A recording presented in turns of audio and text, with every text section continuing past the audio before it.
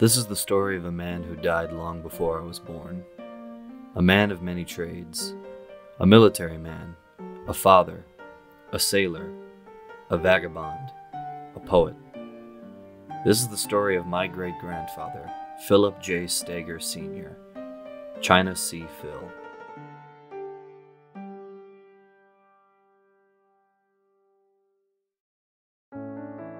Philip Jacqueline Stoegerer was born on April 2, 1918, to mother Anna Magruder Stoegerer Jenkins and father Francis Joseph Stoegerer in Washington, D.C. His father was a wealthy lawyer, while his mother came from old money, a descendant of Confederate General John Bankhead Magruder. Phil spent his early childhood with his mother and father in their large estate with maids, servants, and all the typical signs of wealth in the early 1900s. This didn't last long, as he was soon sent away to boarding school, his mother and father divorcing not long after. At age 13 in 1931, he ran away from his boarding school and traveled the country alone. He told stories of riding freight trains, working as a harvest hand, gandy dancing as a street peddler, and panning for gold in Montana and Idaho, although his actual whereabouts during this time are unknown. It was 1938 when he was first acquainted with the sea sailing out of Baltimore, Maryland at 20 years old. He sailed on various oil tankers and cargo ships until joining the Canadian Air Force at the outbreak of World War II, sometime between 1940 and 41. It was 1941 at a dance in Toronto where he met his future wife, Joan Kathleen Broad Ottewell, but we just call her Nanny. As the story goes, he was in the Canadian Army then, or Air Force, and stationed in Toronto. And there was a dance that they used to have for all the uh, Army officers and so forth. Nanny used to go. Nanny at that time was very shy, and Nanny was a good girl. She didn't take chances. She did not venture any place where she shouldn't be. But she would go to these dances. And Phil Sr., when he saw her, he went up to her and he said, Come on, Joni, let's dance. They were married later that year, but not without the opposition of Nanny's parents. Her father was an imposing man, an influential attorney like Phil's father, as well as a Canadian Army officer during the First World War. Phil Sr. was not intimidated or afraid of her father. And that undoubtedly impressed her. October 7th, 1942 saw the birth of my grandfather, Philip J. Stoegerer, Jr. The family of three lived in Toronto until mid 1943 when they relocated to Ann Arbor, Michigan, where Phil Sr. was working as a mechanic at the Willow Run aircraft plant. Nanny describes the situation in a series of letters to Phil's father, Frank. October 23rd, 1943. Phil works seven days a week. I'm so proud of him, the way he manages our affairs, etc. As long as we three can remain together, everything will be to my liking. One should not worry about missing out on a few good times these days. Though he never finished high school, Phil began taking college classes alongside his wife. She was going for her bachelor's in teaching, while he was taking refrigeration classes in addition to working. June 7th, 1944. He's been so very busy working Sundays and holidays, and with his classes after work on Tuesday and Friday. When Phil comes up, we'll go dancing at the Royal York Roof Gardens, etc., and make believe it's 1941. We met on July 12th, you see, at a dance. With the end of the war rapidly approaching, Phil was laid off by the aircraft plant and he began traveling in search of work, leaving his family for long periods of time. Nanny soon became the main breadwinner of the family. Phil would hold various jobs throughout the late 40s and early 50s, including working on oil pipelines and railroads, test driving cars for GM, and even working on the Atlas and Titan II intercontinental ballistic missiles. Phil Sr. at that time was able to hold, as they said, any kind of a job. But if there was a problem, he would make up some excuse and he would leave and he would not have any problem with getting a job.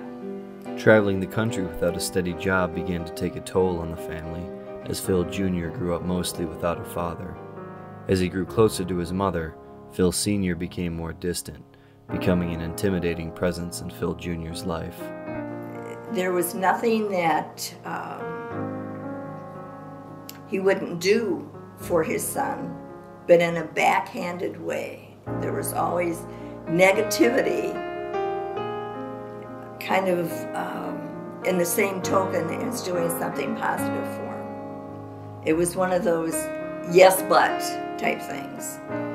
He did love Phil's mother, but she realized again at a, a very early marriage, and after my husband was born, that the marriage was not going to work. And so she prepared for divorce. Phil and I, we had gone together five years, and we were finally going to be getting married. And when my husband was 21 years old, she told him that she was divorcing him. And my husband said, It's about time. Phil Sr. was devastated, and his relationship with his son deteriorated further. After the divorce, he became a drifter and began building a small house for himself in Florida. His son was married in 1965, but he didn't attend the wedding. That year, he returned to the sea by joining the Merchant Marines. He spent the rest of the 60s traveling to Japan, Hawaii, the Philippines, and also running helicopters and troops to Vietnam. It was on these journeys where he began writing poetry. His first book, Down to the Sea in Bumboats, is lost, but his second book, Strictly Scuttlebutt, was published in 1969. By that time, he had left the Merchant Marines and returned to his drifting ways, selling his books to pay his way across the country. He also gave himself the nickname of China Sea Phil, which is what he preferred to be called. He grew out his beard, wore shaggy clothes, and fully committed to living the life of a grizzled old sailor. He would make his living by getting a temporary job while living in his house in Florida. After about six months, he would quit his job and make the drive out to San Francisco, where he had become a well known street artist. He'd live in his van and sell his books until the money ran out. Then he would return to Florida, beginning the cycle again. He would also send his books to various people and institutions, including the U.S. Merchant Marines Academy, the Department of the Navy, the San Francisco Maritime Museum, and even the governor of Florida, Claude Kirk. His third book, Any Old Port, was published in 1971. He may have lived in Florida, but his heart was always in San Francisco. He had become a staple of the city, having various newspaper articles written about him. He was even interviewed by Jack Anderson on his radio show on K101 in 1975. This is the only recording of his voice known to exist. Well, we've gotten away from the tradition of hearing poetry read uh, out loud, and I'm going to try to uh, do what I think uh, is kind of a unique uh, thing for a radio broadcast these days, and that is to have a relaxed conversation with a man of the street. He is very unpretentious and he doesn't call himself a poet. He's just interested in writing poetry. When did you first come to the Bay Area? 1932. Uh, I came in uh, from uh, up in uh, Washington State. I was uh, riding uh, side door Pullmans up there in those days. Uh-huh. 1932. Uh-huh. Side door Pullmans. We used to call them, uh, that's a boxcar, Jack, for you young whippersnappers. Uh-huh. What's been the reaction of the public to a, uh, a street artist who uh, says, wait a minute, I'm not going to uh, try to sell you a leather belt or some Indian jewelry, but I want you to, uh, to examine my ideas through poetry? What happens? It's kind of like, uh, I would imagine, having leprosy, Jack. Okay, uh, there's a classic myth about seamen and their women. I've, I've often wondered how many, uh, how many mariners can really stay married. Uh, uh, very few, very few. Uh, it takes a, a particular type of person uh, to be able to do that, just like it takes a particular person to be able to go to sea. I think that, um, it, in fact, it takes a particular person to be able to, to be enjoyed, uh, to enjoy being married in the first place. Let's see. Now I've got one here called Lonesome Town. I often run around knocking country music, but um, I kind of like some of it, you know, especially my own. Uh, you know, everybody has to be a ham, and uh, I call it "Song of Lonesome Town." I know how lonesome whistles sound crying through the night. The dogs that bay up at the moon when things ain't going right. I've walked the streets of Lonesome Town, no place to lay my head, and looked at people loving and wished that I was dead. There ain't no trouble like the souls, the hurts of love's goodbye. Some people have to run away and twist and turn and die. Now, it ain't no easy feeling, and I hope you never know exactly how it feels, unless I tell it so. When you see a fellow human who's down upon his luck, you'll stand a whole lot taller as you bend and help him up. Do we have much time left, Jack? No, I have a couple our- of Christmas our, points. Our, our time's gone. I'll tell you, Phil. I'd like you to do the one about um, about your experience with Christmas around uh, around ships. Oh, yes, I've got one called I Remember Christmas Spent. it's Christmas time again. The decorations are going up. I haven't heard the carols yet, but they'll be there. Most of the fun of Christmas is in the giving, to have someone to give to. This year, there's no one for me. Now, that doesn't mean that loneliness is not around, it's just that some people never learn to accept. I remember Christmas spent in New Orleans at a riverbank shipyard on a ship. The only ones aboard were a few crew members on duty. We stood 12 hour watches back to back.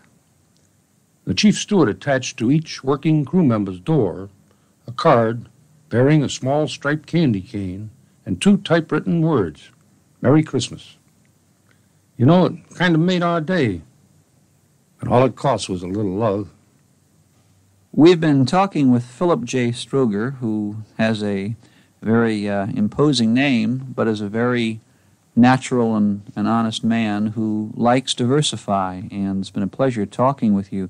Philip, the books are on sale in the Maritime Museum in San Francisco.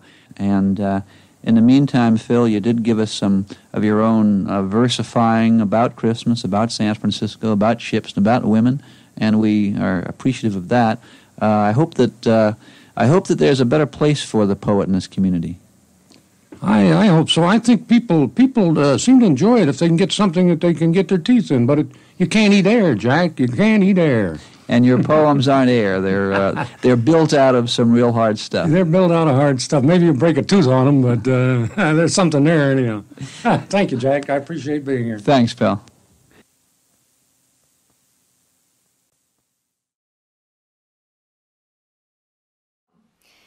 After your mom, after Beth was born, he showed up one day on our porch.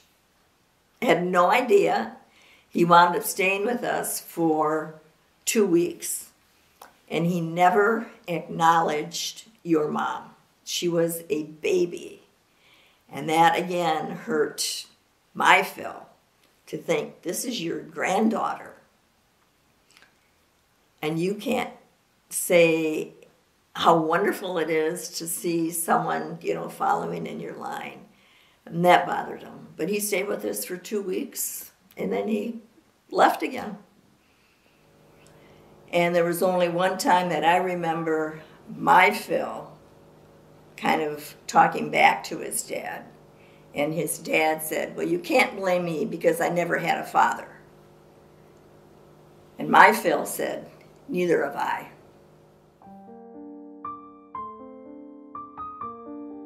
Phil would visit his son and his grandchildren sporadically during his final years, with the young family visiting his Florida house on a few occasions.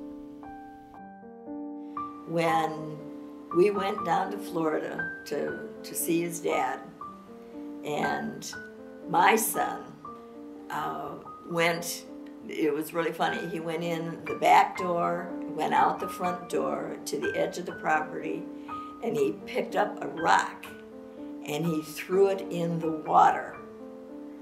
And Phil Sr. came rushing out and said, Don't throw my stuff in the water. They were rocks. And so I, I remember Philip turning around. He must have been five or six or something like that. And he turned around and he looked and he thought, that's what you do with rocks. You throw them in the water. And I think that soured him on the whole trip. Mostly he would keep to himself, either at his Florida house or in San Francisco. He rarely, if ever, spoke to Nanny after the divorce. By this time, she had been remarried to a former Yugoslavian soldier and resistance fighter who had fled to America named Svetomir Tomic, or Steve for short. He had also become somewhat of a hoarder, his house filled with canned goods, scraps of paper, and all kinds of things he thought would be useful. Most of his time was spent writing to old friends and shipmates, selling his books, or performing in local plays in San Francisco. On New Year's Eve, 1980, Phil was sitting in his favorite chair with a cup of tea beside him, looking out the window at the canal flowing by as he drifted off to sleep. He did go back to the house in Florida when he died. And again, that's where the cousin had found him. And um, sitting in his chair, that um, you know, looking out the window at, at the water. So how long he had been dead, they think probably four or five days.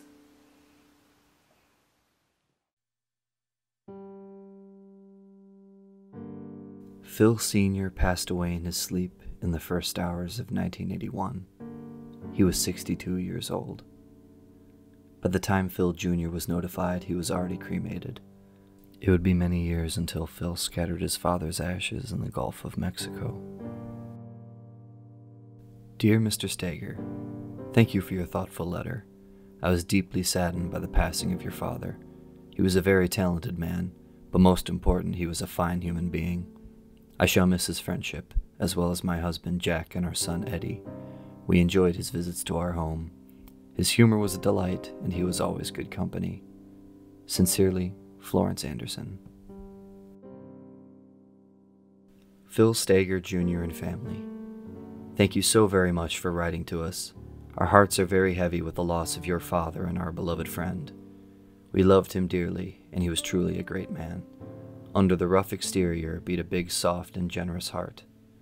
We are very proud to have known him, and our memories of him will help us to stand our loss in God's game. My husband George worked with your father on the Atlas and Titan missiles. They had a great friendship. We have always kept in touch with him over the years. I had sent him a packet of coffee and tea in our Christmas card to him, and I received a letter from him on December 20th, 1980, saying how important our Christmas card was to him, and how friends were very important to him too, and thanking me for the coffee and tea. He said he would have the coffee on Christmas Eve and the tea on New Year's Eve. When we heard he passed away on New Year's Eve, it really hit hard, especially knowing that maybe he had that cup of tea. God bless him. Our love and many thanks. Gloria, George Robbins, and family. Nanny and Steve would remain together until Steve's death in 2006. Nanny followed two years later. Phil Jr., my grandfather, would pass away in 2014 at the age of 72. Though they have left this earth, their stories will be remembered for generations to come, and it is to their memory that this film is dedicated.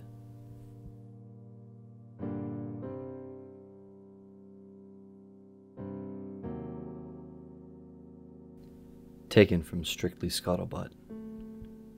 In Potter's Field, the crabgrass grows. There are no crosses run on rows.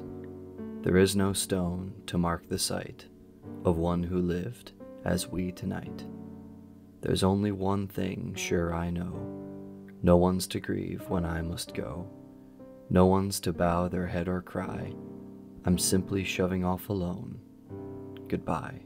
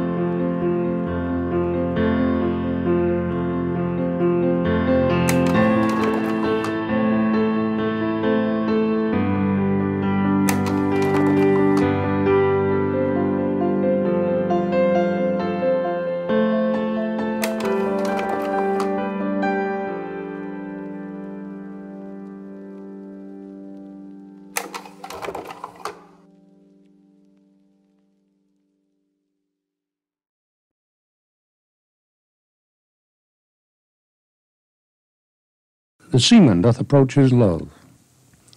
I see her, San Francisco, there to the right she lies. We're steaming up from Dago, fresh from the Orient Eye. We'll be picking up the pilot from his boat with all the sail. She's the California, from Frisco town she hails. Soon it's past the lighthouse, then her golden gate. The bridge above and under, now I can hardly wait. Her bay unfolds before us. Ah, what a sight to see! My love, my San Francisco. Oh, darling, I love thee.